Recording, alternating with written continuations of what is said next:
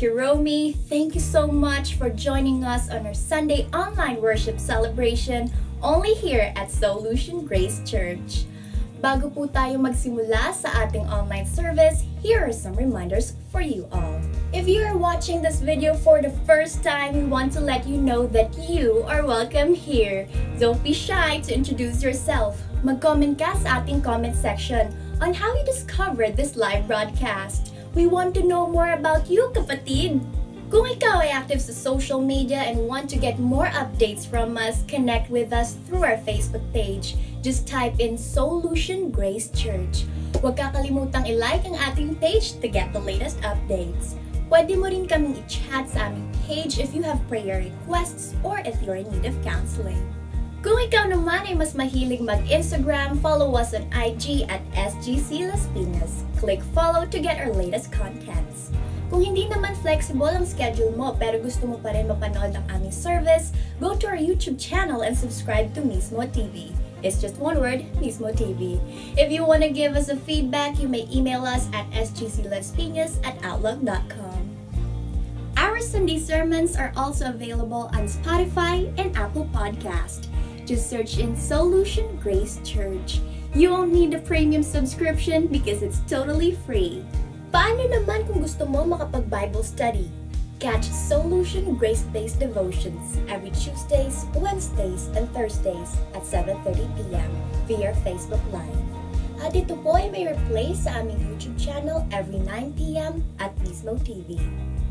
Para naman sa ating SGC fam, if you want to send in your tithes and offerings, you can send it to our GCash account. But before that, we want to remind you that your tithes belong to your home church. But if you are considering SGC as your home church now, you can send us your tithes and offerings through our GCash account number 0906 055 7821. Again, 0906 055 7821. Thank you for your generosity. Kaunting minuto na lamang po at malapit na tayong magsimula, so please prepare your communion elements for a communion later after the message. So grab your pen and notebook now kung gusto nyo po mag-take down ng notes. You can also screenshot ang mga slides later sa preaching time. You may want to hit the like button and share this video to your friends and loved ones. By simply doing so, you are already sharing the gospel of Christ through social media. So, wherever you are watching right now, I declare that you will get a fresh revelation from the Lord Himself through our worship and studying of His Word. Again, this is Hiromi, and you are watching our Sunday online worship celebration only here at Solution Grace Church. You are blessed.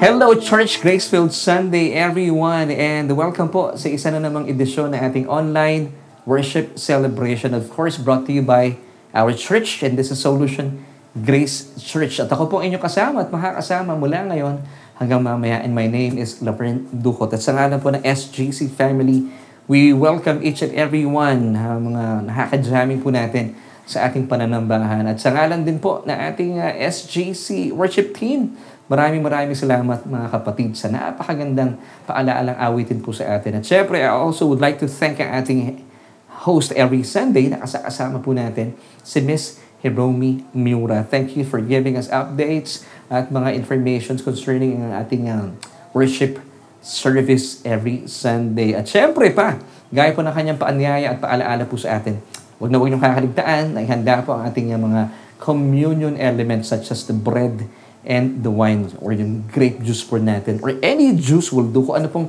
available na meron po kayo sa inyong mga tahanan or kahit tubig, pwede na po yan. Ang importante po, maunawaan po natin kung bakit po natin isinasagawa, ipinagdiriwang at ginugunita ang Holy Communion at sadyang may kinalaman sa ating kalusugan at sa kapatawaran ng ating mga kasalanan. So ihanda nyo na po dahil mamaya bago matapos sa ating pananambahan ay talaga namang binibigyan po natin ng tuon ang ating uh, paggunita at pagdiriwang sa ating banal na hapunan. Ang ating mga tinapay at uh, mga grape juice, ihanda na po iyan. O kahit anong juice, pwedeng pwede po yan, kahit tubig. At uh, pagsuluhan po natin ang uh, mga tinapos na gawa ng ating Panginoon Jesus sa krus ng Kalbaryo. Amen. At syempre pa, hindi po natin kakaligtaan, i-welcome ang ating mga kaibigan, mga kababayan. Kung kayo po ay uh, marahil ay nai-tag or nayakag na inyong mga kaibigan, maraming maraming salamat po for joining us and really, we're so happy na kayo po'y kasama namin sa ngayon dahil naniniwala po ako na sabiang hindi po aksidente na kayo po'y kasama namin sa ating pananambahang ito dahil meron pong napakagandang plano ang Diyos para sa buhay mo. Amen. At uh, ngayon din po pinapasalamatan po natin ang ating mga kaibigan, mga kabalikat, mga kasapakat sa ating gawain. Thank you for being our kaagapay sa pagpapalaganap ng uh, mensahe po ng biyaya ng ating Panginoong Jesus. Dahil ang biyaya ng Panginoon ay sadyang mapagpalaya. Amen. At so muli po sa ating mga kaibigan, sa anumang panig ng daigdig, good morning, good afternoon, and good evening. Ganon din po sa ating mga kababayan dito sa Pilipinas. Ang amin pong pagbati isang mapagpala at uh, mabiyayang umaga dahil tayo po napapanood every Sunday at 11. Amen. At uh, manatili po kayong nakaupo kasama ng inyong buong pamilya. At syempre pa, huwag kakaligtaan ang yung mga Biblia. At uh, tayo po na sa ating mga pag-uusapan at uh, bago po tayo magtuloy-tuloy, tayo po muna ay dumulog at manalangin. Let's pray. Aming Ama at Diyos na makapangyarihan sa lahat. Maraming maraming salamat po sa isa na namang pagkakataon at panahon na kami po ay pinagsama-sama mo para sa isang layunin, diwa. At uh, ito po ay para itaas at bigyan po ng papuri at parangal ang uh, nag-iisang pangalan, ang pangalan ng iyong brutong na anak na si Kristo Jesus. At dalayan po namin, O Diyos, sa uh, pagkakataon po ito, ay patuloy po namin uh, maunawaan, mabuksan aming isipan, na aming kaluluwa sa mga tinapos na gawa ng aming Panginoong Jesus. At uh, malaman din po namin ang tunay na tinitibok ng iyong puso nang sa gayon, maranasan po namin ang nananaganang biyaya at kapayapaan sa aming mga puso. Salamat sa iyo aming Ama. Salamat o Diyos sa araw pong ito sa isang napakagandang panahon at pagkakataon para muli po ay buksan mo aming isipan at uh, magkaroon kami ng katalinuhan, karunungan na ito po ay uh, magmumula mismo sa iyong karunungan at ito po ilalapat namin sa aming pang-araw-araw na buhay. Nang sa gayon, maranasan po namin ang tunay na tagumpay at maging pagpapala rin po kami sa aming mga kababayan, mga kaibigan, mga kapitbahay, mga kasama sa aming mga opisina at sa aming mga eskwelahan at even, Lord, sa aming mga pamilya. Salamat sa iyo, O Diyos, na kami po iginagawa mong buhay na patutuo. Kaya naman, Ikaw lamang, Panginoon, ang siyang manguna sa aming pananambahan. Ito po aming panalangin at pagpupuri at pagpapasalamat sa matamis sa pangalan na aming Panginoong Jesus. Lahat po tayo magsabi ng Amen and Amen. At muli po, welcome po sa isa na namang edisyon ng ating online worship celebration. Of course, brought to you by Solution Grace Church. And uh, ako pong inyong kasama at makakasama Actually, mula pa kanina hanggang mamaya sa atin pong pananambahan and my name is Laverne Ducot. At sa ngalan po ng buong SGC family, ng SGC worship team, we welcome you at uh, gaya po ng ating paanyaya at paanyaya po sa ating ating host, si Mr. Romy Miura na nakakasama every Sunday. Kung uh, naalala niyo po yung kanyang uh, paanyaya sa atin, ihandaan niyo na po ang ating uh, mga communion element na gagamitin po mamaya, ang mga tinapay and of course sa ating grape juice at isasagawa po natin ang nananaga na kapahayagan, ang banal na komunyon. Mamaya po yan bago po matapos ating pananambahan. Amen. So muli po, good morning, good afternoon, and good evening. Isang mapagpalaya at mabiyayang araw po ang ating uh, ipinapahayag at uh, idinideklara sa bawat isa po sa ating mga kababayan, saan man po kayong panig ng daigdig. Maraming maraming salamat po for once again joining us sa ating online worship celebration and uh, this is Solution Grace Church. Now, sa atin pong uh, pagpapasimula, uh, nais ko pong uh, banggitin po at ay paalala po sa bawat isa sa atin. So as a church, meron po tayong theme ngayong taon pong ito. At tayo nga po ay nasa ikatlong linggo na ng unang buwan ng bagong taong 2021. Amen. So purihin po ang Panginoon. Tayo po ay malaya pa rin nakakasamba at sama-sama po tayong pinagsasaluhan ng kanyang biyaya, ang kanyang pag-ibig at sakda ng pagmamahal kahit man lang sa Facebook Live. Kung kayo po ay wala pang panahon o dahilan para lumabas ng bahay, inilaan po namin ang ating pananambahan para po sa inyo. Amen. So atin pong uh, church, ay meron pong theme para po sa taong ito. Declaring a brighter 2021 like the shining sun. And of course, atin pong uh, verse na pinangahawakan ni mula sa Proverbs chapter 4, verse 18. Basahin po muna natin. But the path of the just or the righteous is like the shining sun that shines ever brighter unto the perfect day. And I believe that perfect day is the rapture of the church. Ito po yung ating blessed hope according to Titus chapter 2 verse 13. Kapag tayo po ay established po sa katotohanan ito, anuman pong takot at pangamba ay pinapawi nito. Halimbawa, ito po ang mundo, ito tayo. Ang mundo po ay papadilim ng papadilim. Bagaman tayo po ay nararanasan natin ang kaliwanagan sa ating landasing tinatahak. Ganito po ang mundo, pababa, pero tayo po ay papataas. Amen? Dahil naniniwala tayo, meron tayong blessed hope. Kaya nga po natin ipinapahayag ang Ebanghelyo para mas marami pong tao ang maka unawa at ma, ma, mahatid po sa kanila ang nananaganang biyaya sa atin ng Panginoon. At malaman po nila na talagang sadyang mahal na mahal sila ng Diyos at sila rin po ay maligtas. Amen. Ito po ang pakay natin kung bakit po natin isinasagawa ito. Kapatid, wala na po ibang dahilan para maranasan po natin ang tunay na kaligtasan kundi nagmumula lamang sa ating Panginoong Heso Kristo. And we believe that, of course, the truth is, even though the world is getting darker and darker and darker, but ours believers is getting brighter and brighter and brighter unto the perfect day. Dahil tayo po ay ligtas kay Kristo Jesus. Amen. So, maaari po natin panghawakan po ito. At muli, kapag ito po ay naitatag sa ating mga puso at sa ating kaluluwa ang katotohanan ito, anumang takot at pangamba ay pinapawi po nito. Isaiah chapter 60, verses 1 through 5. Basahin po natin ang pangako na sadyang mapanghahawakan po natin mula sa ating Diyos. Arise, shine, for your light has come, and the glory of the Lord is risen upon you. Verse 2, For behold, the darkness shall cover the earth, and deep darkness the people. But the Lord will arise over you, and his glory will be seen upon you. Verse 3, The Gentiles shall come to your light, and kings to the brightness of your rising. Ngayon, bilang mga mana ng palataya, hindi po may iwasan talaga. Ang buhay po natin ay manifestation ng uh, kadakilaan, katapatan, at ng kapangyarihan ng biyaya ng Diyos sa ating mga buhay. Now, meron po mga unbelievers, ang mundo po ay naghahanap ng tugon sa kanilang mga tanong. Now, kanino po sila lumalapit? Sa mga anak ng Diyos dahil naniniwala ako sa kasabihan ang mga taong gipit, sa mga mananampalataya lumalapit. Ngayon, bakit sila lumalapit sa atin? Hindi nila kilala ang Diyos eh. So tayo po bilang mga representante ng Diyos, mga ambassadors ng Diyos, lumalapit po sila sa atin because meron po sila nakikitang liwanag sa ating buhay. Ito po ay manifestation ng kanyang kapangyarihan, ng biyaya ng Diyos. Now, kung meron po silang tanong na talaga namang hindi po nila mahanapan ng tugon, lumalapit po sila sa atin bilang mga mananampalataya. Tayo po yung mga kinatawan ng Diyos.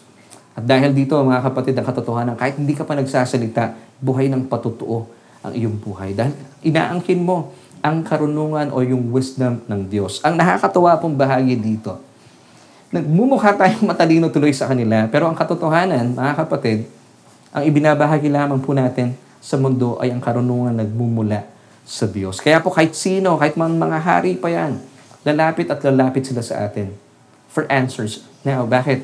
Dahil naghahanap po sila ng tugon sa kanilang mga katanungan.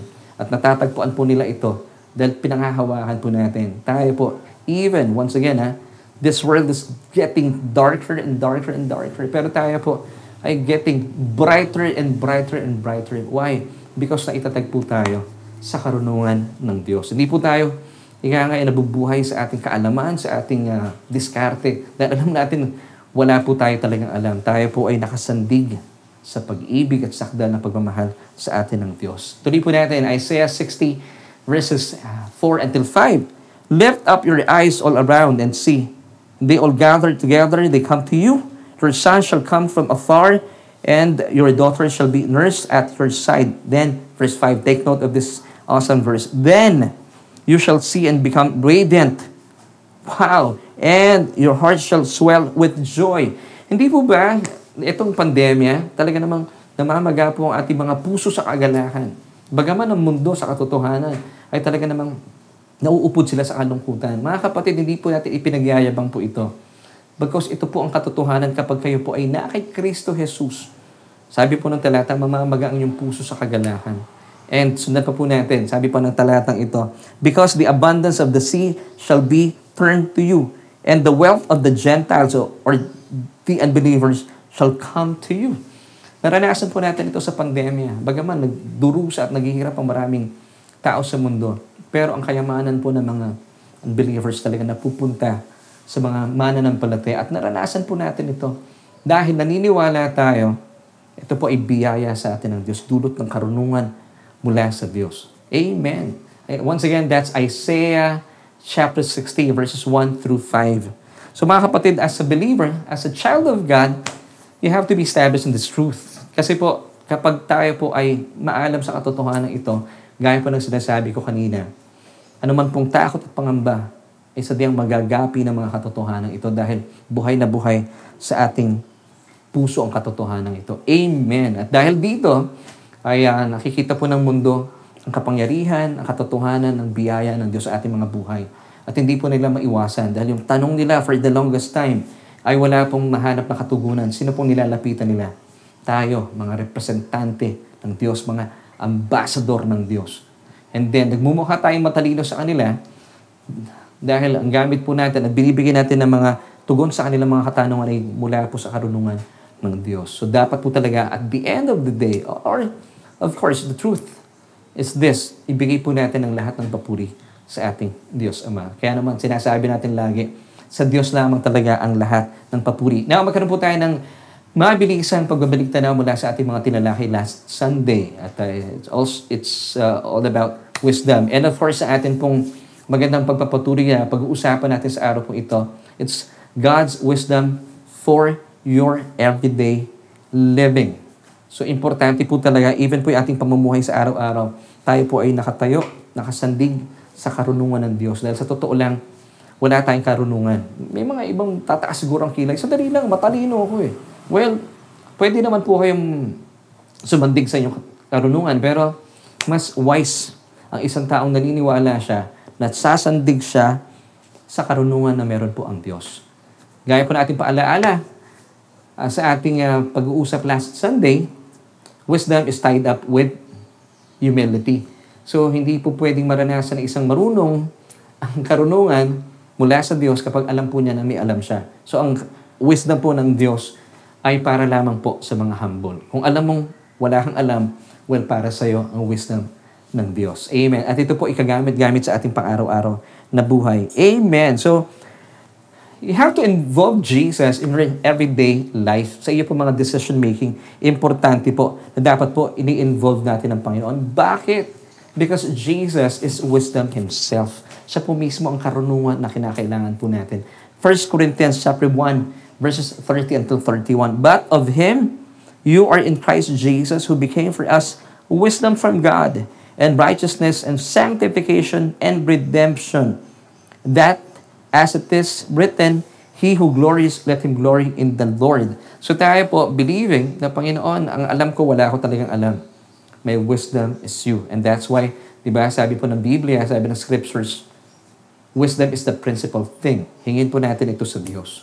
And at the end of the day, alam, sasabihin mo lang talaga, all by His grace, all for His glory. Sa Diyos ang papuri. Amen. Zero me, 100% talaga galing sa Diyos. So kung meron man kayong gustong ipagyabang, sabi po ng verse 31 ng 1 Corinthians chapter uh, 1, kung meron kayong gustong ipagyabang, ipagyabang po natin ang Diyos. Hindi po yung ating sarili. Alam niyo, mas maganda po ito eh. Walang pressure sa part natin. Ang sarap mamuhay. Wala kang mine-maintain, di ba? Ang Diyos po ang bahala po sa atin. Now, this is our key verse until today. Uh, ginamit po natin ito nung last Sunday. Importante po na maunawaan po natin. Proverbs chapter 4 verse 7. Wisdom is the principal thing. Therefore, get wisdom. So, prioridad talaga ng Diyos. Because wisdom is the principal thing. So, therefore, get wisdom. And in all you're getting, get understanding. So, sa akin, I define wisdom, it's simply understanding into action. Kung ano po yung ating narinig, hindi lamang po ito na natiling narinig. Ito po ay pinapakinggan. Kasi pag sinabi mong narinig lang, pwedeng pumasok sa kaliwang tenga, lalabas sa kabilang tenga. Pero iba po ang wisdom. Ito po ay may manifestation ng inyong mga napakinggan. Ito po inilalapat ninyo sa inyong mga buhay-buhay. And that is wisdom. Now, sabi po ng talata, wisdom is the principal thing. Now, sabi po nung talata, pag sinabing principal thing, in Hebrew, it means reshith, which means very first, best, and the chief thing. So, importante talaga, when you wake up in the morning, ano man pong um, panahon na inyo at buhay, pagkakataon at panahon, uh, meron kayong dapat na bigyan po ng desisyon, i-involve po natin si Jesus because Jesus is God's wisdom. Amen. Para hindi po tayo magkamali at hindi tayo mga pa sa dilim. Kaya pala sabi po muli ng passage, Therefore get wisdom, and in all you're getting, get understanding. See? Now, you may ask, what's the difference between knowledge and wisdom? That's a good question. Well, knowledge is just knowing through reading. Nakukuha po natin yan, researching, or even uh, memorizing facts and informations. Mga ano lang to eh, ma- maaring natutuhan mo lang, narinig mo lang, alam mo lang, pero hindi mo nilalapat sa iyong mga buhay. Pero wisdom po, it's kakaiba, eh po, ah, kakaiba po ito. It's understanding into action. Narinig mo, pinakinggan mo na natili po sa inyong sa inyong kaluluwa. Pag sinabi natin kaluluwa, nandito po yung ating isipan, which is the main faculty. Now, talaga namang pinoproseso mo yan sa pamagitan po ng wisdom sa iyo ng Diyos. Dumadali po ito sa iyong damdamin at sa inyong pong kalooban. Now, nakakapag-desisyon po kayo ng tama. At ito po ay naipapahayag sa inyong mga katawan. Kaya naman, ang tingin sa atin ng mundo, talino ng taong to. Hindi nila alam galing sa Diyos yung wisdom natin. And, and of course, lagi po natin isinasagawa, ang papuri po lagi dapat sa Panginoon, sa Diyos, talaga ang papuri. Hindi natin ina- inaangkin yung papuri sa ating mga sarili. Dahil muli po ah, wisdom is tied up with humility. Wisdom is just for the humble. Kung kayo po ay maalam, hindi po nababagay sa inyo ang wisdom. Hindi po talaga ninyo mararanasan. Pero kung alam mo na wala kang alam, then God's wisdom is for you. Di ba? Mas madali po yun. Eh, Wala kang i-maintain. Kasi kung alam mo, ikaw ay sobrang talino, ikaw mag-maintain yan. Ang hirap nun. Ang hirap po maging mayabang. Do you agree? Naranasan ko na yan eh. Marami sa atin po talagang mayabang. Ang hirap i-maintain. Talaga namang mapapagod po kayo. Pero praise God, nag-provide po ang, ng Diyos ang binibigay niya sa atin ng kanyang wisdom. Paano po niya ibinibigay? Pag ito po hinihingi po natin, isipin niyo ah, wisdom po ito ng Diyos. Ibinibigay po sa atin. Ibig sabihin, hindi ka magkakamali. Kapag hiniling po natin sa Panginoon ito, and then sabi ng Panginoon, it's the principal thing. It's the best, chief. So dapat, umpisa pa lang talaga sa umaga, when you pray, Lord, I ask for your wisdom. And I believe that's the wisest thing na dapat natin ipanalangin. Di ba? Ito po napakainam. Alam nyo, muli po, ha? knowledge is just knowing the things by researching, reading, or uh, memorizing facts and informations. Pero yung wisdom, it's understanding put into action. Meron po akong naalalang tao, hindi ko na lang babanggitin ang pangalan. At alam ko po, nabanggit ko na po ito last Sunday, Meron siyang nabasang article. Siya po ay mahilig sa sigarilyo. At naging dahilan nga po ng kanyang buhay po ito. Now, sabi po nung article na kanyang nabasa, na pag-alaman po niya na ang paninigarilyo pala ay humahantong at nagbibigay ng karamdaman na maaaring maging sanhi ng kanyang kamatayan. Na kanya po itong nabasa, yung article na ito, nagdesisyon po siya sa kanyang sarili. Sabi niya, ititigil ko na. Mm ititigil ko na. Ang alin? Ang sigarilyo? Hindi daw po ang pagbabasa. Ngayon, kaya pala, patay na siya. So mga kapatid, ano pong meron itong taong to? Knowledge or wisdom? Basically, knowledge. Marami siyang knowledge. Marami siyang alam. Ang problema, hindi po niya inilapat sa kanyang buhay. Kaya po, naranasan niya, siya po ay nagkasakit sa baga. And eventually, ang katotohanan, siya po ay umuwi maaga sa Panginoon. So, hindi po itong God's best for you. So, mga kapatid, itong difference po ng knowledge. Marahil ha, even sa mga mananampalataya, paalala lamang po ito. Minsan tayo po mga nasa biyaya. Marami tayong alam. Pero let's ask the Lord for wisdom. Minsan, baka po nakakasakit na tayo na ating mga kapwa. Dahil minsan ang dating natin, sobrang galing, ang dami nating revelation to the point na nakakasakit na po tayo ng damdamin ng ibang tao. Hindi po yan ang kalooban ng Diyos para sa atin. You ask the Lord for wisdom. Paano po natin ibibigay, ibabahagi ang biyaya ng Panginoon sa mga tao? Pagaman, sa totoo lang, meron pong masasaktan. Pero I believe, importante pa rin po kung paano natin ipinapahayag ang katotohanan. Dahil naniniwala po ang Panginoong Jesus. Di ba tayo po ay kagaya ng ating Panginoong Jesus? Hindi po tayo nananakit ng damdamin. And I believe this is wisdom. Napakaganda pong ibahagi natin ang mensahe na hindi po tayo nagpupumilit hindi tayo nang bubulyaw, hindi tayo naninigaw.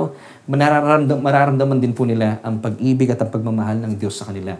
At dahil po doon, di ba, sabi nga ng talata ng, uh, I mean, ng uh, Romans chapter 6 verse, uh, I think, chapter 2 verse 4, God's goodness through us will lead that person into repentance. So, hindi po usapin dito kung sino yung mahusay, sino yung hindi mahusay, sino yung nasa tama, sino yung mali. Ang importante po dito, maipahayag po natin kung ba't natin ibinabahagi ang biyaya, hindi para ipamukha sa kanila na mali po sila. Sinasabi po natin ito ng buong pagmamahal para lalo po nilang maunawaan at magkaroon po sila na kapahayagan ng biyaya ng ating Panginoong Jesus. So dito po, talaga namang eh, hindi lamang po tayo may knowledge because may wisdom ka pa. This is understanding put into action. It's understanding with action. Amen. So tayo po, hindi tayo nananakit ng damdamin. Bagaman nakatotohanan may mga pagkakataon, may masasaktan. Pero naniniwala po ako, importante rin po, how we deliver the news, the good news. Di ba? So paalala po ito sa ating mga nasa biyaya. Huwag po tayong ikangay padalos-dalos. Let's ask the Lord for wisdom. Panginoon, meron akong babahaginan. Bigyan mo ako ng wisdom. Kung ano po yung tamang uh, oras, tamang timing. Hindi po ako makakasakit. Amen. Ang layunin po natin, marami po ang maligtas. Di po ba? So magkaisa po tayo. Let's ask the Lord for wisdom. Amen. So take note ha, muli po yung taong aking binanggit kanina, he had knowledge. Marami siyang alam. Ang nakalulungkot, kahit po alam niyang yung paninigarilyo po maghahatid sa kanya sa karamdaman, eventually, nagkatotoo nga po, na humantong sa kanyang kamatayan. Pero itinigil niya. Nung nabasa po niya yung article, hindi, yung pagbab- hindi po yung paninigarilyo. Bagkus pagbabasa. May knowledge lang po siya, pero wala po siyang wisdom. So, ganito rin po ang nangyari. Sabi ng author ng uh, Book of Hebrews, and I believe it's uh, Apostle Paul, sa mga taong nakapakinig, pero hindi po sila nag-benefit mula sa gospel. Bakit? Dahil naririnig lamang po nila, pero hindi nila pinapakinggan yung mensahe. Ibig sabihin, hindi po ito uh, hinalo sa pananampalataya. Naririnig lang, pasok sa kaliwa, labas sa kanan. Hindi po ito uh, kapakipakinabang sa inyo bilang mga individual. Hebrews chapter 4, verse 2. Take note of this um, reminder. For indeed the gospel was preached to us as well as to them, but the word which they heard did not profit them. Why? Not being mixed with faith in those who heard it. Hindi po nila hinaluan ng pananampalataya. Narinig lang, hindi pinakinggan. Wala pong proseso sa kanilang kaluluwa. Ibig sabihin, pag sinabi kong proseso, hindi po natin hiningi ang wisdom mula sa Panginoon. Whenever you hear the word of God, you ask the Lord, Lord, give me wisdom concerning this uh, message. Bigyan mo po ako ng revelation. Alam niyo kapag sinasabi po natin ito, sinasabi lang natin sa Panginoon, Lord, alam kong wala akong alam, pero ikaw ay punong-puno ng karunungan. Panginoon, Meron akong katanungan, ikaw ang aking solusyon. Panginoon, meron akong pangangailangan, ikaw ang aking kasapatan. Ito po ibig sabihin ng paghingi ng karunungan mula sa Diyos. Now, gusto mo bang magtagumpay sa buhay? And I believe, ang sagot mo, syempre naman, sino ba naman ang hindi gusto magtagumpay sa buhay? Now, gayahin po natin si Haring Solomon. Gaya po natin pinag-usapan natin last Sunday, even though si Solomon po ay hari, hindi po niya kinikilalang magaling na ako. Hindi po. Kinilala niya ang Diyos. Kailangan ko na isang mas mahusay sa akin, ng mas maalam sa akin, ng mas marunong. So, hiningi po niya ang karunungan ng Diyos. Amen. So, maganda po matuto tayo mula sa buhay ni Solomon. At pababasa po natin yan sa 1 Kings chapter 4, verses 29 until 31. And God, God gave Solomon wisdom and exceedingly great understanding and largeness of heart like the sand on the sea shore. Now, ito pong taong ito, ang talaga naman pong alam po natin na siya po'y nagtagumpay bilang hari. Hindi lamang po siya naging mar- pinakamarunong na hari. Siya po ay pinakamayaman pa. Bakit? Dahil naniniwala po ko siya po'y mapagpakumbaba. Kinikila, kinilala niya kanyang sarili na wala siyang alam. Nag-rely lamang po siya sa karunungan sa kanya ng Diyos. At uh, mag- magbabasa po natin in 1 Kings chapter 3 verses 7 until 10. Basahin po natin. Now, O Lord my God, you have made your servant king instead of my father David. But I am a little child. I do not know how to go out or come in. And your servant is in the midst of your people, whom you have chosen, a great people, to, too numerous to be numbered or counted. Therefore, sabi niya, give to your servant an understanding heart to judge your people, that I may discern between good and evil. For who is able to judge this great people of yours? And then, take note of this uh, verse, uh, verse 10. The speech pleased the Lord that Solomon had asked this thing. So whenever we ask the Lord for wisdom, it pleases Him. Bakit? Kasi po, we are giving so much value, sinasabi natin sa Panginoon. Sinasabi natin sa Diyos, Lord, alam ko wala akong alam. Pero ikaw ay nananagana sa karunungan. And it pleases the Lord, mga kapatid. And of course, alam po natin ang katotohanan, ayon po sa kasaysayan, Solomon became the richest and wisest king history has ever witnessed. Di ba? Maliban po sa ating Panginoong Jesus, of course, siya po ang pinakadakilang hari. Dahil siya po mismo ang wisdom. Well, sabi po ng kasaysayan, si Solomon po, nasaksihan po ng kasaysayan. He was the wisest and richest king history ever witnessed. Anong susi? Mapagpakumbaba. Kinikilala po niya, kailangan niya magpasakop sa Diyos. Kinakailangan niya ng karunungan. Bagaman, hari na po siya. So, paalala po ito sa mga presidenteng nanonood. Kung marunong mga magtagalog ng iba-ibang mga presidente, huwag po kayong umasa sa inyong kalakasan. You need the Lord. Amen. So, talagang kinakailangan po natin. Isa pang katotohanan, alam po natin yung binahagi natin last Sunday, kagaya po ni Jesus in Luke chapter 2 verses 51 until 52, bagaman siya po ay Diyos. He, he knows everything. Pero bilang isang uh, labing dalawang anyos na batang anak ni Jose at ni Maria, siya po ay nagpasakop sa Panginoon. Hindi po niya iginit yung kanyang sarili. Now, tingnan po natin, kapag kayo pala nagpapasakop, meron pong magandang epekto po ito sa ating buhay bilang mga mananampalataya. Luke chapter 2 verses 51 until 52. Basahin po natin. Then Jesus went down with them and came to Nazareth and was subject to them. But his mother kept all these things in her heart. Verse 52, And Jesus increased in wisdom and stature and in favor with God and men. So muli po, ang na- napakaganda po dito, even though si Jesus po ay Diyos. Amen. He is 100% God and man. Now in this case, in this passage, look, chapter 2, 51 until 52, siya po ay nagsabit sa kanyang mga magulang. Bagaman alam po niya ang lahat, hindi niya sinabing, excuse me, Diyos ako, hindi po. As a 12-year-old son, nagpasakop po siya. Ano po magandang wisdom po dito? Tayo po bilang mga anak, magpasakop po tayo sa ating mga magulang. Meron pong wisdom po dito. Kahit po kayo, sa tingin mo, ikaw ang pinakamahusay na manggagawa sa inyong opisina, magpasakop ka pa rin sa boss mo. Kahit ikaw ang pinakamahusay na miyembro na yung church, magpasakop po kayo sa inyong mga pastor. Mapapahamak po kayo. Eh, pastor, eh, hindi pwede. Mas magaling ako sa pastor namin eh. Mas matalino ako. eh. Magpapasakop ako sa kanya pag matalino siya. Mga kapatid, this is submission. Ibig sabihin, kahit na alam mo mas mahusay ka, pero siya ang nilagay ng Diyos, you submit. Gaya po ni Jesus, bagaman siya po ay Diyos, He knows everything, pero as a 12-year-old son, alam po niya tao, si Jose at si Maria, pero siya po yung nagpasakop. Now, ano po yung magandang epekto? Jesus increased in wisdom. Meron na po siyang wisdom. Lalo pong lumago. And stature. Ano po yung stature? Honor and dignity. Ibig sabihin, kapag siya po ay uh, nagsasalita, nire-respeto po siya ng mga tao. Diba? Hindi po siya yung tipo ng tao na, o preacher in those days, na nag, nag, nagmamakaawa sa mga tao. Guys, guys, please pakinggan niyo ako. Hindi po meron po siyang stature, increase in wisdom, godly wisdom, meron na po siya, lalo pong lumago.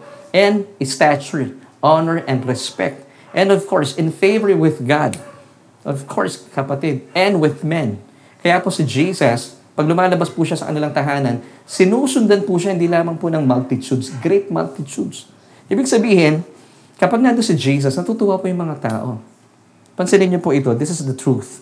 Kapag ang tao po ay sobrang dunong, ibang tipong hindi teachable, ibang tipong hindi napapagsabihan, pansinin mo, wala siyang favor with men. Hindi po siya gustong katrabaho ng maraming tao. Ito yung mga taong ay magpasakop. Kahit po sila ay uh, empleyado lang ng kumpanya, matalino, mahusay, pero pansinin mo, hindi po nalalagay sa tamang posisyon. Matagal na siya sa posisyon niya, pero hanggang ngayon, um, rank and file pa rin siya. Pero sabi niya, mas mahusay siya doon sa boss niya. Ang tanong, bakit nandyan ka pa rin? Because wala kayong favorite with men. Importante po talaga yung attitude. Submission. Mga kapatid, submission. Ngayon, mararamdaman niyo po yan. Kung kayo po ay conscious and um, um, medyo, kung kayo po ay talaga namang napapansin niyo pong katotohanan at sa napapag-usapan po natin, kung, kung ang mga tao po ay ayaw kayong kasama, may problema po siguro kayo sa submission. Mga kapatid, this is really wisdom. You ask the Lord for wisdom. Gusto niyo po magtagumpay sa buhay? Kung sino po nilagay ng Diyos na mamahala sa inyong puder, sa inyong panahon, submit to, to these people. Kahit na mas matalino pa kayo sa kanila, pero sila po ang nilagay ng Diyos. Or pray for them bilang part ng iyong submission sa mga tao. Amen. So as a Christian, kailangan po ba natin talaga humingi ng wisdom? I believe so, dahil kinakailangan po natin ng wisdom mula sa Diyos para po mapawi po anuman pong yabang pagiging palalo ng tao. Kasi may mga ibang uh, mga mana ng palataya sinasabi nila, eh, nasa biyaya na ako, hindi ko na ng wisdom.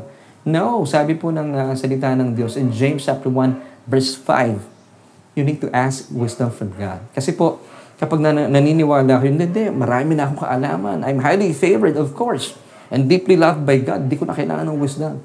Yayabang po kayo.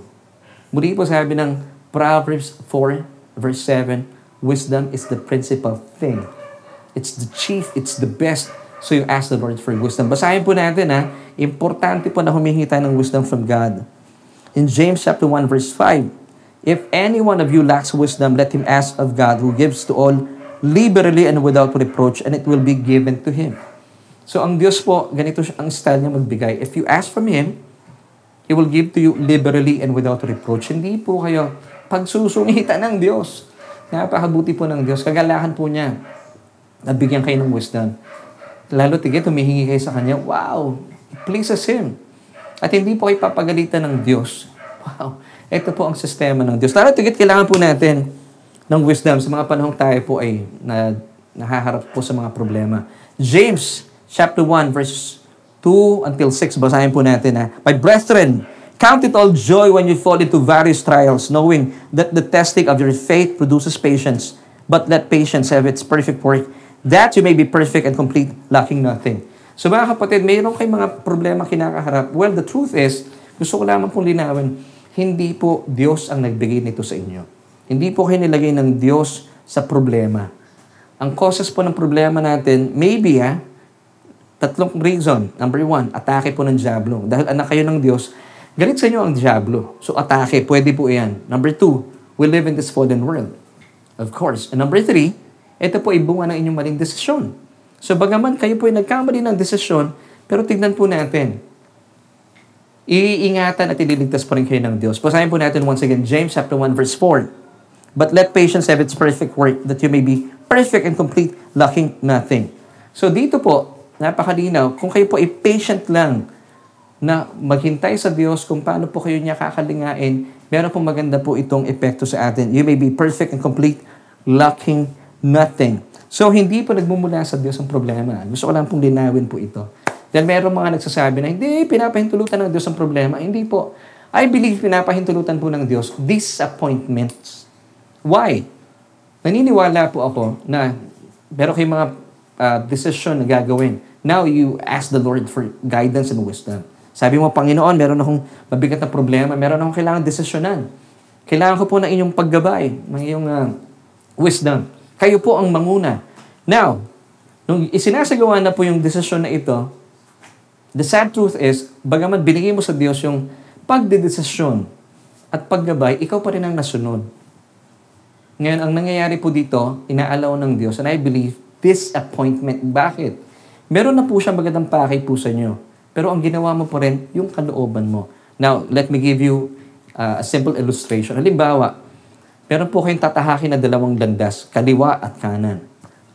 Uh, nung nagising ka sa umaga, sabi mo sa Panginoon, kailangan ko po magdesisyon. Panginoon, tulungan mo ako, kayo po ang maggabay. Now, ang, ang gusto po ng Diyos para sa inyo, since binigyan mo siya ng dahilan ng pagkakataon na gabayan ka, sabi niya, kanan ka. Ngayon, ang ginawa mo pa rin, kumaliwa ka. Hindi po nangyari yung gusto mo, ang naranasan mo ay disappointment. Bakit? Tayo po bilang mga mana ng palataya, meron po tayong, ang default mode po natin ay mapayapa. Ito po talaga ang default mode na isang believer, isang born-again Christian. Now, paano po nag-ooperate ang banal na spirito? Kapag po meron kayo mga katransaksyon na hindi kayo panatag, eh huwag nyo na po itutuloy. Pero may iba siguro na nung panahong yon eh gusto mo kasi mga tuloy yung transaksyon eh, pinilit mo yung sarili mo. Now, ano po ang nangyayari? Disappointment. Hindi po kayo binigyan ng problema ng Diyos.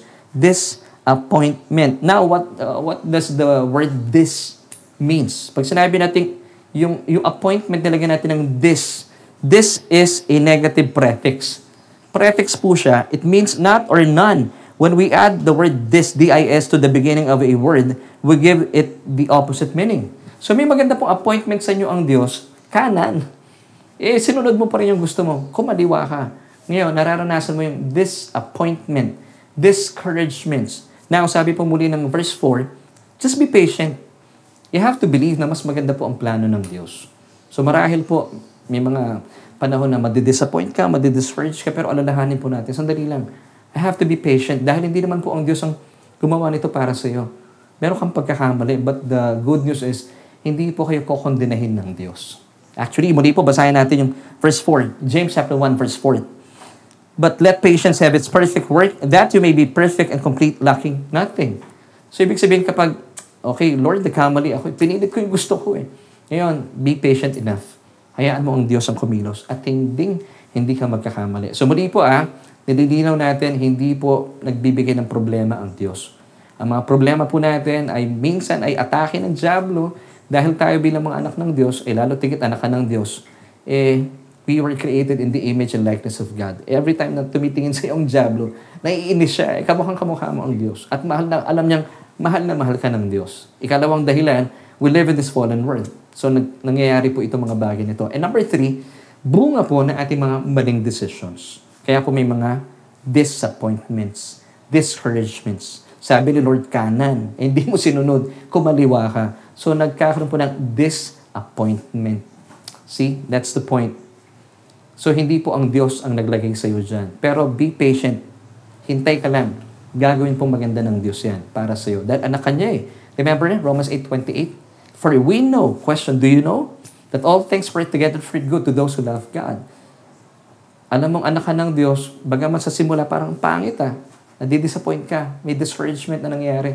Pero alam mong gagawin po ito ng Diyos para sa kapakinabangan at sa ikabubuti mo. Amen? Amen. Amen. So tuloy po natin. James chapter 1 verses 13 until 17 bilang patunay na hindi po galing sa Diyos ang mga problema or sinasabi ng iba, hindi, sinusubukan ka lang ng Diyos para lumawig ang iyong pananampalataya ay yung karakter. Hindi po. Tingnan niyo po yung talatang ito. Let no one say when he is tempted, I am tempted by God. For God cannot be tempted by evil, nor does he himself tempt anyone.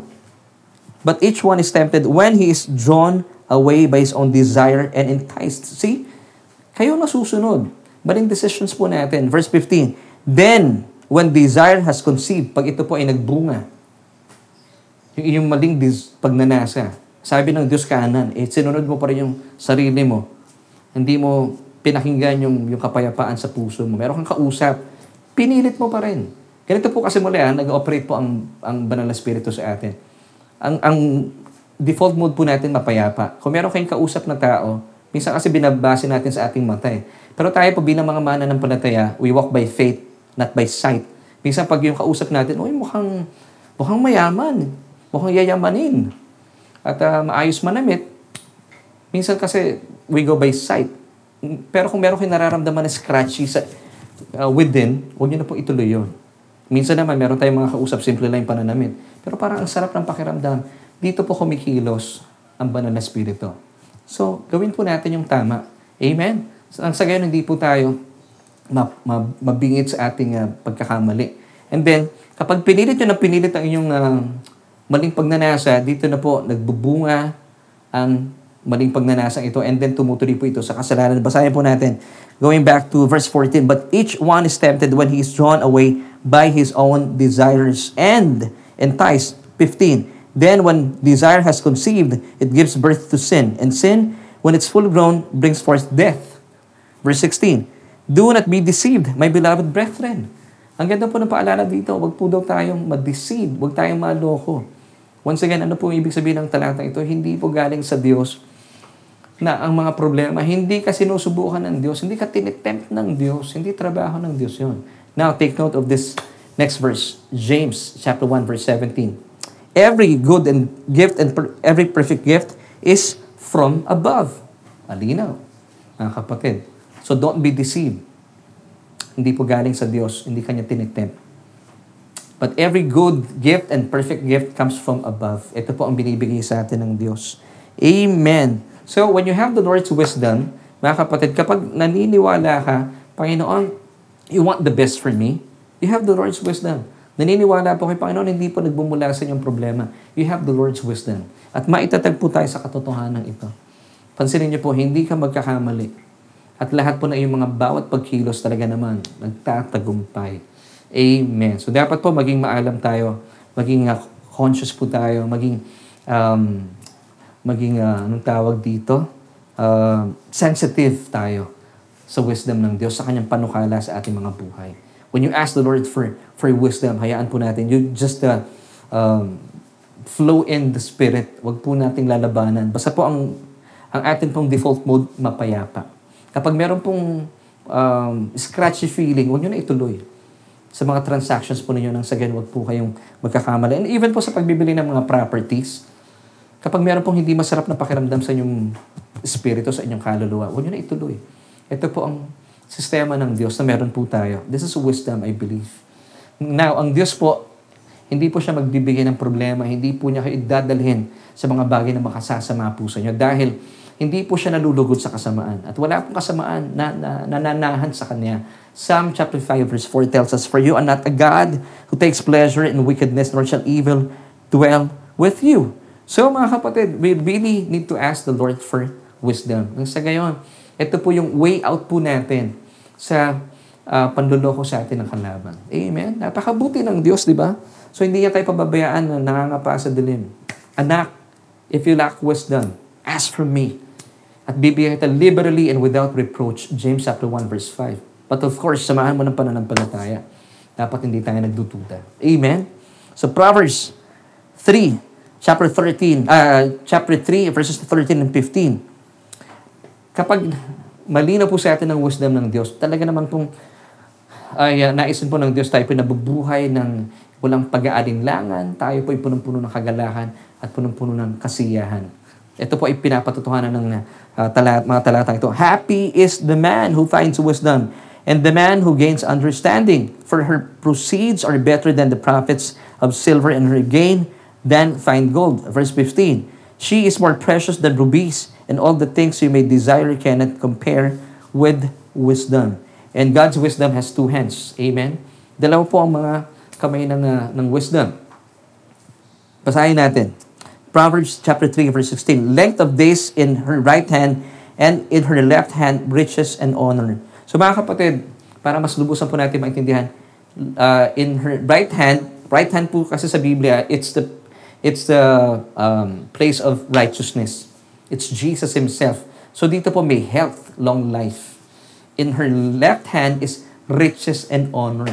So when you pursue wisdom, mararanasan po natin haba ng buhay. Kaya po sinasabi sa atin ng ating Diyos, never uh, pursue riches and the fame sa mundo. Kung gusto mong maranasan ang haba ng buhay, pursue his uh, uh, God's wisdom. Kasi sa, sa wisdom, kapag pinopursue mo ang wisdom, abay talaga naman pong kasama po dito and all these things will be added unto you. Ang mundo po kasi, after sila sa sa riches and itong uh, fame, kaya po umiigsi ang buhay nila. So tayo po hindi. Tayo po, uh, we pursue God's wisdom. Amen. So mga kapatid, napaka-importante po ano, na may kinalaman pala ang uh, mensahe ito in uh, Matthew 6.33. Ano sabi ng talata? But seek first the kingdom of God and His righteousness, and all these things shall be added unto you. So instead of pursuing itong riches and honor, pursue wisdom.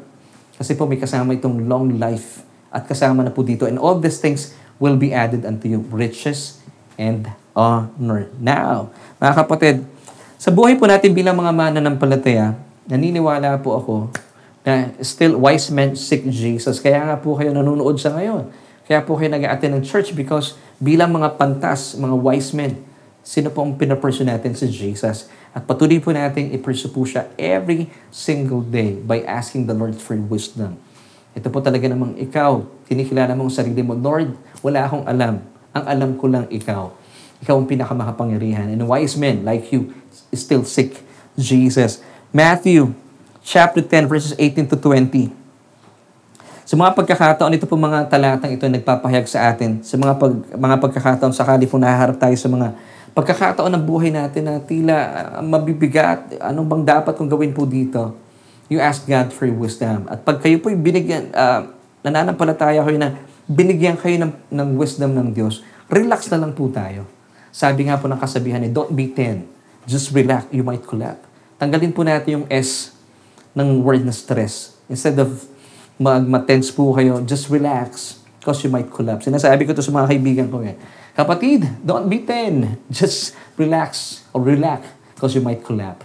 Ayaw po ng Diyos na tayo po ay natataranta. Gusto po niya, chill na chill po tayo. Sabihin mo sa katabi mo, chillax. Ito po ang buhay ng isang mananampalataya, punong-puno na kapahingahan. Ngayon, may mga pagkakataon sa buhay po natin na, na pupunta tayo sa mga hindi natin alam ng mga decision na dapat natin gawin. Or nasasadla ka sa isang ang mga bagong bagay na dapat mong gawin. Huwag po kayong mag-alala. Bahala po ang Diyos po sa inyo.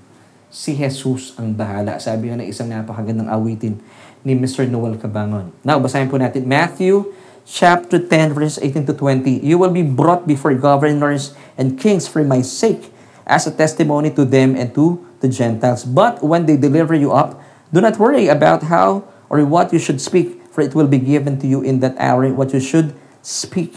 Verse 20, For it is not you who speak, but the Spirit of your Father who speaks in you. So don't be tense. Just relax. Because you might collapse. Chillax lang mga kapatid. Alam niyo po, meron akong testimony po dito eh. Talaga namang ang biyaya po ng Diyos ay talagang buhay na buhay sa akin. Way back 2016, naranasan ko po na pwede akong mataranta, ma-stress po sa pagkakataon yon. Nang nagkaroon po ng uh, launching ang Papuri 16. Kung kayo po ay uh, tagasunod po ng Papuri uh, Music Festival, I think uh, 2016, hindi ako nagkakamali. Ako po ay inatasan na aming presidente, siguro po dahil uh, bilang part ng Papuri uh, radio show that time, ito po yung ministeryo ko sa radio, ay uh, biyaya po ng Diyos na pili po ako ng aming boss na mag-host ng Papuri uh, 21 uh, launching concert sa CCF Main sa Pasig.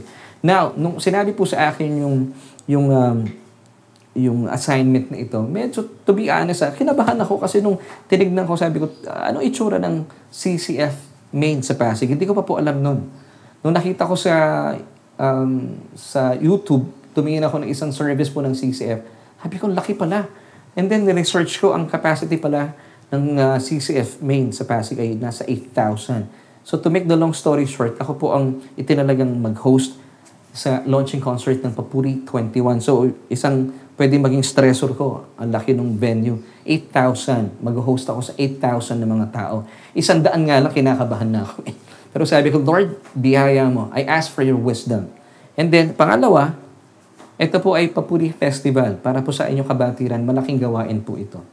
Kung saan ay lahat po ng mga napiling uh, awitin mula sa, ito po ay songwriting uh, festival, songwriting competition. Ito na po yung pinaka-inaabangan ng mga tao, yung mga composers, itong gabing ito. And then, ikatlo, pwede po akong uh, magulantang at talaga namang mataranta. Ang mga aawit po ay mga uh, inter- interpreters ng gabing iyon ay hindi po um, sa nanggaling lang sa gospel community.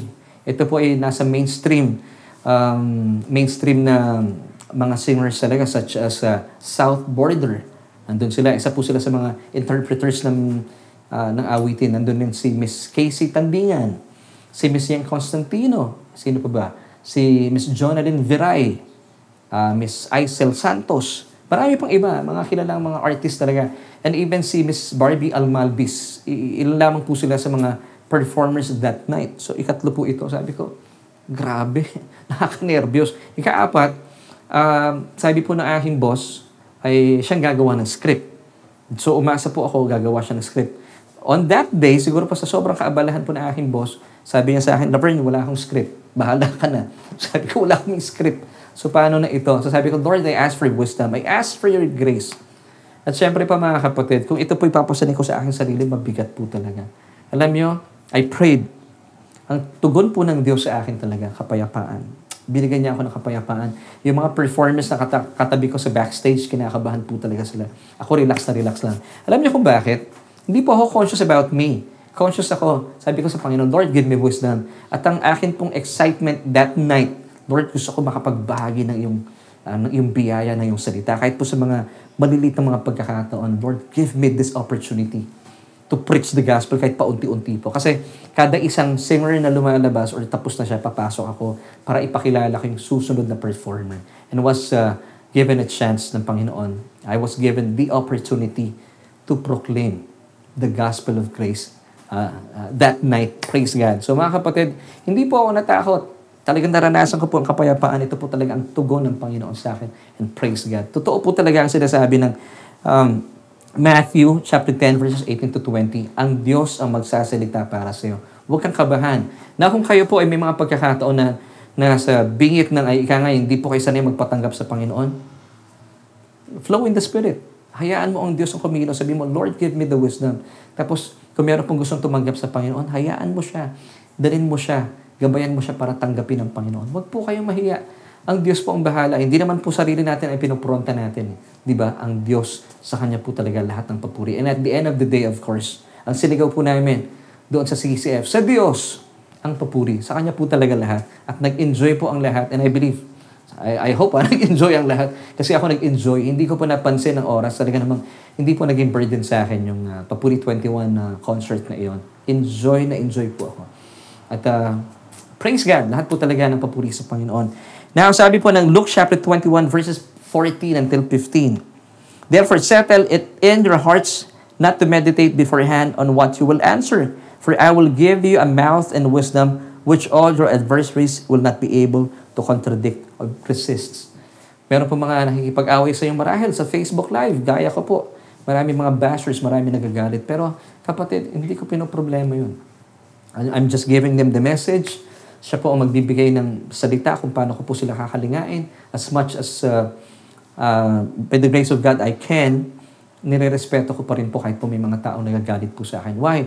Kasi po ang purpose po natin, this is God's wisdom, I believe hindi po natin sila dapat awayin, hindi po natin sila dapat pagsalitain ng masasakit. Even though galit na galit po sila, sa akin na marami akong pagkakataon sa inyong lingkod. Uh, at the end of every service, Sunday service, or uh, yung ating pong programa, yung ating online uh, Bible study, meron at meron pong magagalit sa inyong lingkod. Pero sinasagot ko po sila ng pag-ibig at pagmamahal ng Diyos. And I believe this is wisdom. Bakit? Ibinibigay po sa akin ng Panginoon ng mensahe. Kailangan nilang maligtas, kailangan nilang marinig ang Ebanghelyo gamit ang iyong malambyos na pagtugon. Tayo po iyon sa atin simula. Amen? So atin pong solution as we end, nasan man kayong sitwasyon o panahon at pagkakataon ng iyong buhay, hingin po natin ng karunungan, yung wisdom ng ating Diyos. At mamuhay ng buhay na punong-puno ng kulay, kapahingahan, kapayapaan, kagalakan. And uh, of course, uh, umayon po tayo sa daloy ng Banal na Espiritu. Flow. Flow in with the Spirit. Huwag po kayong lumaban. Just go with the flow. Amen. At ma- alam niyo, kapatid, magiging magaan po ang buhay. Magiging masaya. Magiging punong-puno ng kagalakan at kapayapaan. Dahil ang, alam mo, ang banal na spirito ang kumikilos at ang kanyang banal na spirito ang siyang iyong karunungan. Amen. So muli po, ang buhay natin ay masaya, magaan, punong-puno ng kapahingahan, kapayapaan at kagalakan. At ito po ay naipapahayag sa ating mga mukha. At dahil dito, at the end of the day, talaga naman, alam mong, ikaw ang lahat ng mga nangyari sa iyong buong maghapon, ito ay dulot ng karunungan na nagmumula sa Diyos. Kaya naman, malinaw sa iyo, kapag sinasabi mo, sinisigaw mo, sa Diyos ang papuri. Amen. So mga kapatid, purihin po ang Panginoon. Last verses as we end. James chapter 1 verses 5 until 6. If any of you lacks wisdom, let him ask of God, who gives to all liberally and without reproach, and it will be given to him. But let him ask in faith with no doubting, for he who doubts is like a wave of the sea, driven and tossed by the wind. So hingin po natin sa Panginoon, if any of you lacks wisdom, ask from God, and He will give it to you liberally and without reproach. Libreng-libre po ito. Ito pong estilo ng Diyos. Kagalahan po niya na ibigay sa inyo kanyang karunungan at hindi po niya kayo papagalitan. Because siya po ay tuwang-tuwa because it pleases Him when we ask wisdom from Him. Amen. Sa Diyos po talaga ang lahat ng papuri. So kapatid, bilang pagpapatuloy po sa ating pananambahan sa ngayon, iniimbitahan ko po kayo. Kung kayo po ay nasa gitna ng mahirap na pagdedesisyon sa buhay, ask wisdom from God. Ah, ano pong wisdom natin? Si Jesus po ito mismo. Kung kayo po ay wala pang relasyon sa ating Panginoong Jesus, talagang ang buhay po ninyo ay mawiwindang. Hindi po niyo matatagpuan ang kapayapaan. Kayo po ay patuloy na makikipagsapalaran sa buhay na ito. Pero gusto mo nang tapusin, I believe, ang buhay na yan. Dahil pagod ka na eh, di ba?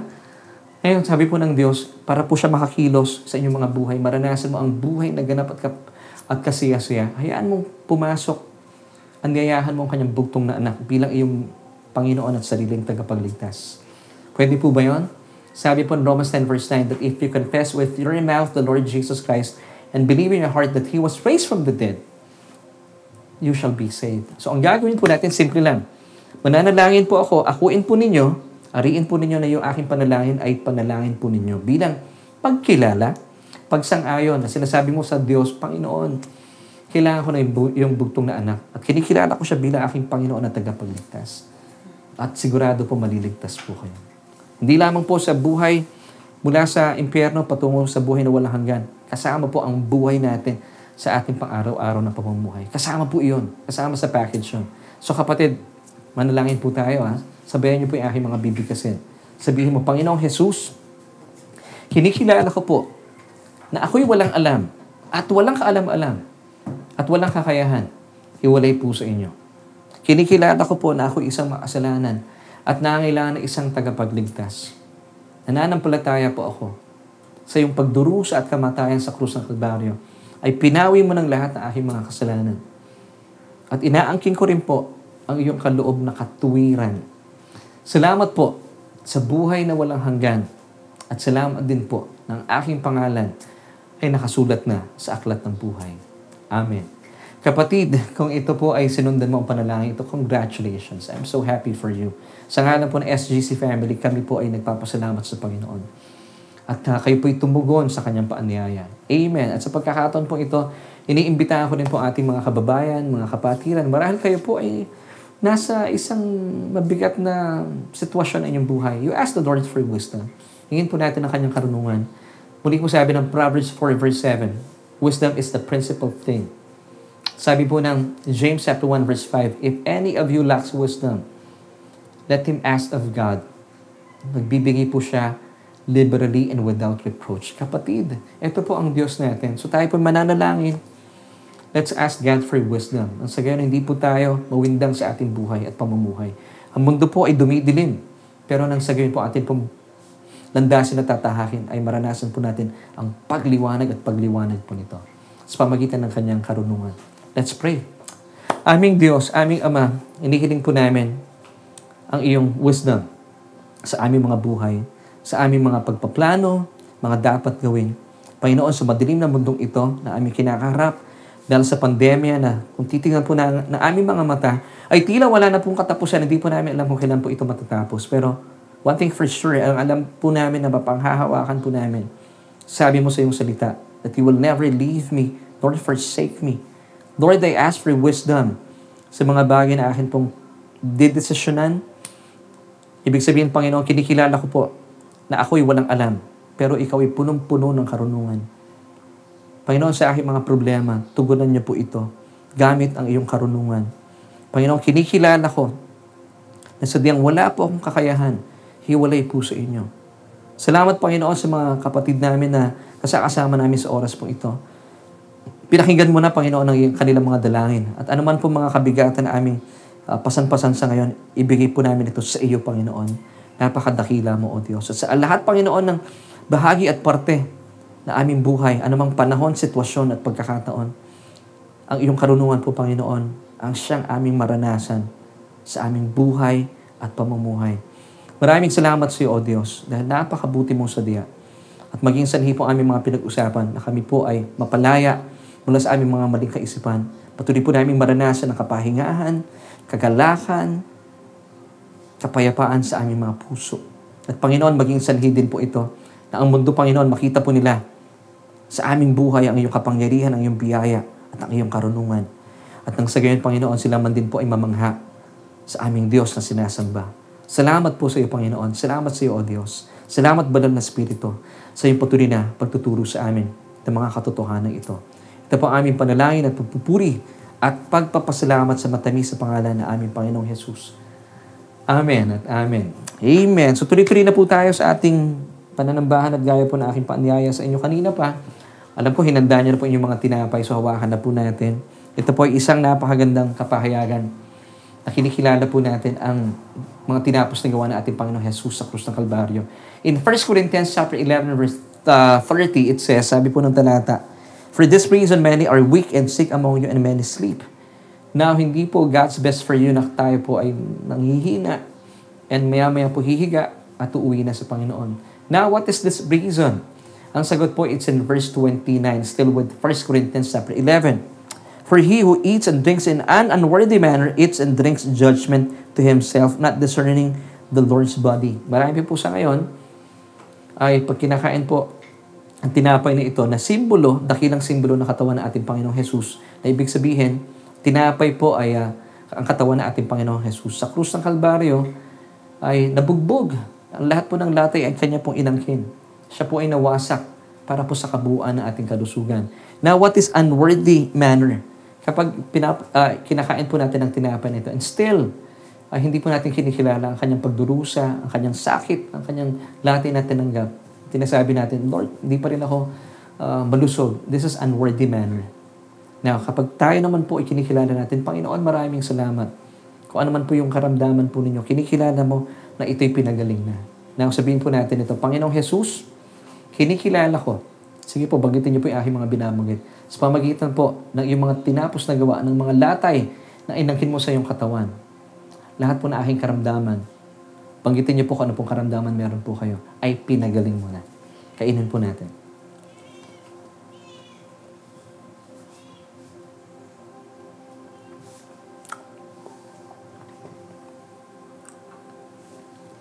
Ngayon din, hawakin po natin ating mga saro sabi po ng uh, Matthew chapter 26 verse 28, For this is my blood, sabi ni Jesus, of the new covenant, which is shed for many.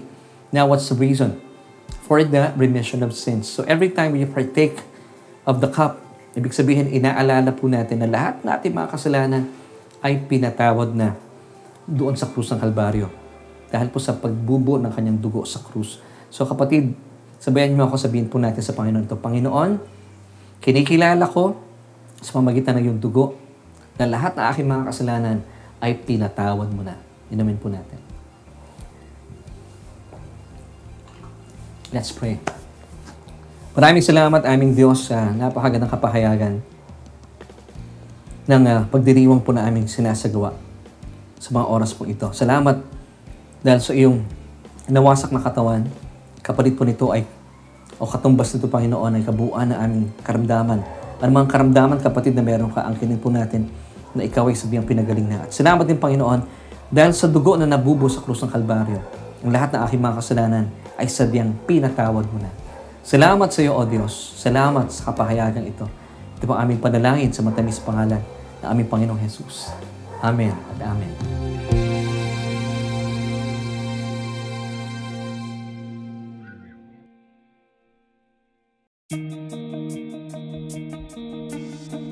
Well mga kaibigan, maraming maraming salamat po sa Panginoon at tayo po inasa huling bahagi na ng ating pananambahan. Muli po, thank you for joining us this Sunday sa ating online worship celebration. Of course, hatid po sa inyo ng Solution Grace Church. At sa ngalan po ng ating mga kapatiran, ako po inyong nakasama. My name is Laverne Ducot. At tilayan ko po na napagpala po kayo sa ating mga pinag-usapan. Amen. Ask the Lord for wisdom. This is the principal thing. So kapatid, para hindi po tayo mawindan o ika nga ay mga pasa dilim, you ask the Lord for wisdom. James chapter 1 verse 5. Kagalahan po niya na ito po ibigay sa inyo ng kanyang buong pagmamahal. And He loves it when we ask from Him. Di ba? It pleases Him. Talaga namang kagalahan po ng Diyos sa tayo po humihingi ng karunungan mula sa Kanya. At uh, sa ngalan po na ating uh, kapamilya, na aking pamilya, kami po ay nagpapasalamat po sa inyo for joining us. At uh, bago tayo magtapos, bahagi pa rin po na ating pananambahan. Kung kayo po ay napagpala sa ating gawain, ay uh, nagpapasalamat po kami sa ating patuloy na mga kaagapay. Na kung kayo po ay may mga local church, marapat lamang po na ibigay po ninyo ang inyong mga tithes sa inyong mga local churches. Dahil ito po ang uh, panukala ng Diyos para sa atin.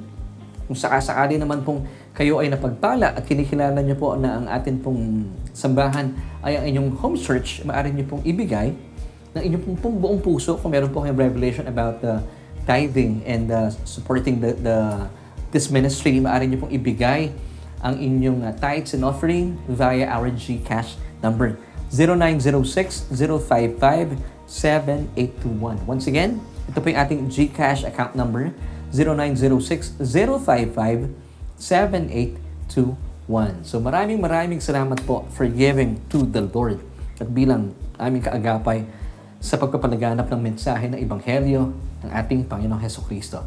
At sa ating pong pagtatapos, ay um, inibitahan ko po kayo atin pong itaas sa ating mga kamay. The Lord bless you and keep you. The Lord make His face shine upon you and be gracious to you. The Lord lift up His countenance upon you and give you peace. Kapatid, ang kinin po natin ang pagpapala at biyaya na ibinigay na sa atin ng Diyos pamagitan ng mga tinapos na gawa ng ating Panginoong Heso Kristo. At anuman po ating mga gagawin, babalakin, at ahawahan ating mga kamay, ito po isa diyang pinagpala na ng Diyos.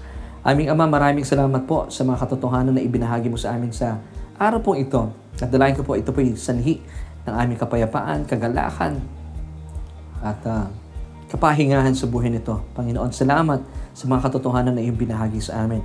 At uh, sino man pong miyembro ng aming pamilya na lilisan sa aming mga tahanan, Panginoon, inaangkin po namin ang iyong proteksyon at sadyang iginawad mo na po sa amin sa anuman pong mga virus na kumakalat sa aming uh, palipaligid. Salamat sa iyong pag-iingat. At uh, sino man, Panginoon, kalilisan na miyembro ng aming pamilya, sila po ay uuwi na balot ng iyong kaligtasan. Salamat ng marami, Panginoon. Ngayong linggong ito, inaangkin po namin at sa mga darating pang panahon, ang iyong pag-iingat, ang iyong kapayapaan na sadyang inilaan niyo na po sa amin. Kaya naman po, ito po ay aming inaangkin at pinagpapasalamat sa aming uh, sa, sa katotohanan ng iyong salita. Kaya naman kapatid, umayo po tayong payapa at angkinin po natin ang pagpapala na iginawad na sa atin na ating Panginoong Diyos. Purihin ka aming Ama, Salamat po sa iyong pag-ibig at sakda ng pagmamahal.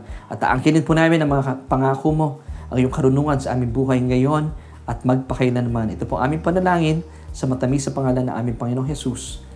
Amen at Amen. So tayo po humayong payapa at martiling uh, pinagpala at muli po makita-kita po tayo sa ating pananambahan next Sunday sa ating online worship celebration. Hatid po sa inyo ng Solution Grace Church. Stay blessed. Bye.